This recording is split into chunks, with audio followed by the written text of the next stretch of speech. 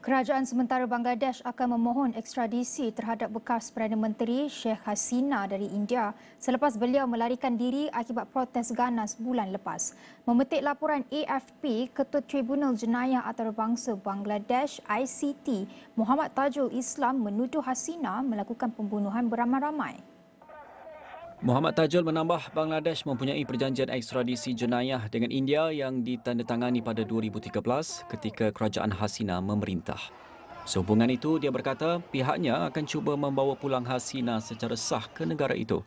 Perkembangan tersebut menyusul selepas Menteri Luar India Muhammad Tauhid Hussein berkata bahawa negara itu terpaksa meminta kepulangannya kerana Hasina menghadapi banyak kes.